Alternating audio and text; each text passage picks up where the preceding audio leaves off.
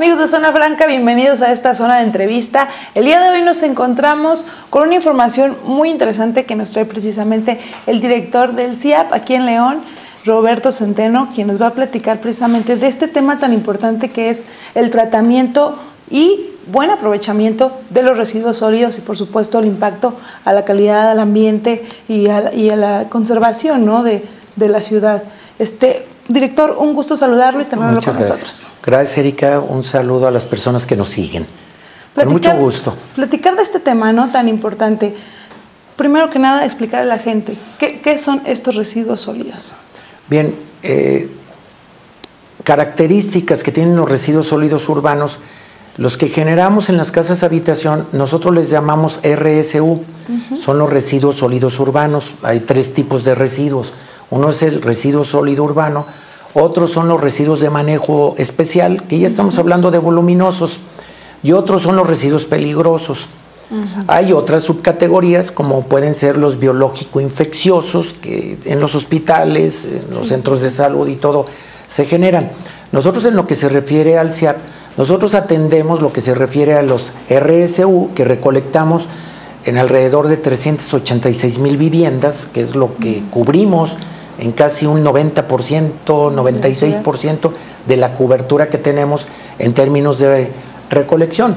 Entonces, eh, la participación ciudadana para poder hacer este manejo adecuado de los residuos, pues nos va a permitir tener una ciudad limpia y ordenada, ¿no? En, en sus calles. Entonces, estos residuos sólidos urbanos cuentan con la participación de la ciudadanía. Cuando son voluminosos, que ya son los residuos de manejo especial, pues los generan hoteles, industrias, tiendas, eh, giros empresariales, en donde son grandes generadores y ya entran en la otra categoría, en donde nosotros también intervenimos en el CIAP. En los residuos eh, peligrosos o, biológicos, etcétera, ahí no intervenimos, hay compañías que prestan de manera eh, particular ese servicio. Nosotros lo que ya he mencionado es de la competencia del CIAP. Mm-hmm. Es importante destacar esto, ¿no? Que no solamente se trata de, reciclar lo que surge en casa como botellitas de, de, plástico, papel, cartón, todo esto, ¿no? Sino precisamente estos otros residuos este, grandes como las llantas, este, y, que la gente suele tirar y que ya no se reciben en el relleno sanitario. Sí, ahorita en las campañas es muy notorio, ¿verdad? Que se difunde el que ya no hay que contaminar, el que no hay que tirar el PET porque se va a los ríos y los peces se lo comen. Hay una fuerza ahorita que se está dando en este empoderamiento de la sociedad y qué bueno que se haga. A nosotros nos corresponde entonces puntualizar el tipo de residuos que son propensos a ser reutilizados, a ser reciclados, ¿no? Y, los programas que nosotros tenemos en, el CIAB, pues vienen a contribuir a hacer esta separación de origen. Para nosotros esta es la clave. Eh, hogares, casas habitación, empresas, industrias, claves que tienen que separar de origen, no solamente en las casas habitación. Todos los ciudadanos que generan tienen que separar el residuo, tienen que separar los inorgánicos, de lo orgánico. Algunos son valorizables y se recupera, eh, algunos puede ser que no lo sean, pero ya no lo podemos estar revolviendo con el material orgánico, ya, e, eso ya es inconcebible. Ya estamos dirigiendo nosotros las campañas para poder estar separando de origen y no nos llegue la basura revuelta al relleno sanitario Actualmente estamos recibiendo 1.600 toneladas diario. Eso es lo que genera una ciudad como León, un municipio como León. 1.200 son municipales y 400 son de particulares. Pero es un volumen muy grande. Nosotros tenemos copadas las zonas de tiro con equipo especializado para poderle dar el tratamiento a los residuos. Trabajamos los 365 días del año, hay día y noche gente en el acceso, en el ingreso, en las básculas, en las zonas de tiro. Eh, trabajan con iluminación para poder trabajar por la noche. Es un esfuerzo el que se hace muy fuerte por parte de, del CIAP y requerimos mucho el apoyo, como ya menciono, de la ciudadanía y de los empresarios para, cristalizar y en términos ambientales, pues tengamos una eh, ciudad sustentable y ambientalmente, ¿verdad? Director, ¿cómo se puede aprovechar precisamente estos residuos valorizables? Bien, eh, nosotros tenemos diversos programas que estamos llevando a cabo, le llamamos proyectos periféricos. Tendrá yo que mencionar que venimos nuestras acciones están marcadas por un modelo de actuación. Tenemos un modelo conceptual que se ha construido desde principios de la administración pasada. En base a ese modelo, nosotros desprendemos programas. Estos programas desprenden a su vez acciones ya concretas. Tenemos dentro de este modelo proyectos periféricos y esto me estoy refiriendo a toda la gestión de los residuos en las categorías que ya dije. Estos modelos, estos proyectos periféricos, eh, menciono cuatro. Uno es los electrónicos que desechamos, monitores, pantallas, controles, etcétera. Son los electrónicos. Eh, otro de nuestros proyectos periféricos es el vidrio, otros son los neumáticos, otros son las pilas, las que usamos en los controles y que pues es muy fácil para las personas que lo tiremos revuelto con la basura, ¿no? Nosotros tenemos un programa especial en donde estamos recuperando 1.500 eh, kilos al mes de ese tipo de baterías en 300 centros en donde tenemos un pequeño contenedor para poder estar recepcionando por parte de la ciudadanía las pilas. Yo creo que todos lo hemos visto en los centros de conveniencia, en las tiendas, que hay un pequeño contenedor o en algunos espacios públicos o, en las universidades, oficinas de gobierno. Entonces hay que guardar estas pilas, no hay que tirarlas con el orgánico, hay que irlas a depositar, tiene un lugar en donde irlas a depositar. Hay más de 300 puntos. Los neumáticos es igual.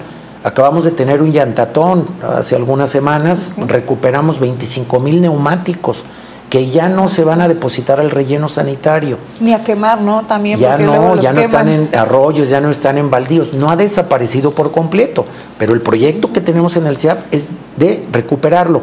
Entonces, cuando hablo de los proyectos periféricos, pues también me tendrá que referir al vidrio. El municipio de León genera 35 mil toneladas al año de vidrio. Es una cantidad enorme, es sorprendente. Ese vidrio va a estar ahí décadas, milenios sin degradarse. ¿Qué es lo que estamos haciendo? Con acuerdos que estamos haciendo con generadores, estamos entrando a convenios para que nos separen las botellas de vidrio, para que no nos la revuelvan con el inorgánico, para que nosotros la podamos recuperar, separar por color, quebrar y mandarlo a la empresa vidriera que se queda con ese vidrio. Entonces, en resumen, nuestros proyectos periféricos, electrónicos, pilas, los neumáticos y lo del vidrio son elementos que ya no están llegando al relleno sanitario. Y no estoy hablando de aluminio, PET, cartón, los que comúnmente dominamos y en las redes se difunden, ¿no? Qué bueno que se siga haciendo separación de esos inorgánicos, pero también hay que entender que también hay los otros inorgánicos que llegan al relleno sanitario y que nos contaminan, ¿no? Y que ambientalmente pues hay que hacer ese relleno autosustentable. Son hasta más nocivos, ¿no? Para la ciudad, para el medio ambiente. Sí, de la claro. Y nosotros, bueno, ahorita que en el relleno sanitario ya eh, va a iniciar o ya eh, arrancó la operación de este gran biodigestor para que los metanos que genera se estén convirtiendo en biogases y generar energía eléctrica, pues León es de los municipios pioneros a nivel nacional. Ya estamos generando energía eléctrica en el relleno sanitario, ya esa energía está entrando a las redes de alumbrado de nuestra ciudad y pues son acciones que también pues se han venido dando, ¿no? En el marco de este gran proyecto estratégico que tenemos en el sistema integral de aseo público. Además de que también ¿no? el CIAP León ha hecho una interesante tarea en los eventos, ¿no? De esta ciudad tan llena de eventos tan grandes, como ya platicábamos hace un momento, el FIG, el, rally, este, la feria, estos eventos tan grandes donde este tipo de residuos también se generan y también pueden Sí, Erika, es correcto. Fíjate que en esos macroeventos a veces la ciudadanía no se percata ¿no? de la labor que nosotros hacemos. Eh, por ejemplo, cuando se hace el, el, Festival del Globo, nosotros llevamos 1.200 tambos. Y estos 1.200 tampos, en un área de segregación, nosotros separamos el orgánico del, del inorgánico del orgánico, para que entonces no se revuelva y no vaya al relleno sanitario. Cuando es la feria, durante casi un mes de feria, nosotros tenemos un área oculta que nadie ve. Pues en área, esa área oculta nosotros tenemos gente y tolvas día y noche separando todos los residuos que genera la feria, la motofiesta, el rally eventos religiosos, deportivos, nosotros recuperamos la totalidad de los residuos, los separamos, eh, este inorgánico valorizable se comercializa Y el dinero que nosotros obtenemos, que no son cantidades estratosféricas, porque ahorita las materias primas están en un nivel muy bajo a nivel mundial, pero lo que obtenemos lo usamos para comprar contenedores, papeleras, la misma infraestructura que nosotros colocamos en fraccionamientos, que ahorita traemos un proyecto en fraccionamientos privados, lo estamos dotando de contenedores para que no se paren los inorgánicos y nosotros estamos pasando por ellos. Entonces, todo esto que comento es una suma de esfuerzos de la sociedad y de las instituciones involucradas, pues para poder reducir esos volúmenes que llegan al relleno sanitario, mantener los arroyos, las calles, las vialidades más limpias. Y en términos de seguridad, eso ya lo sabemos, ¿verdad? Una ciudad limpia y ordenada propicia un entorno sano, contribuye a que sean entornos más seguros. Y esa es la contribución que nosotros hacemos, muy encaminada a mantener zonas limpias que brinden seguridad de tránsito a, los ciudadanos y también, como ya comento, pues que nos duren más años el relleno sanitario.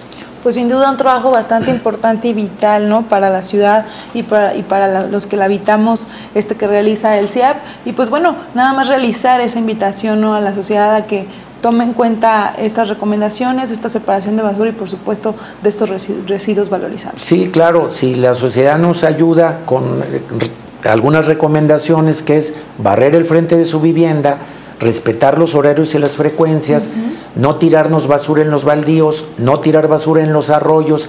Esta contribución de la ciudadanía va a hacer que tengamos un león más bonito, más amigable y sustentable ambientalmente hablando. Pues muchas gracias, director. Ahí está la invitación precisamente a mantener una ciudad más limpia por nuestro bien y el de todos los que nos rodean, por supuesto.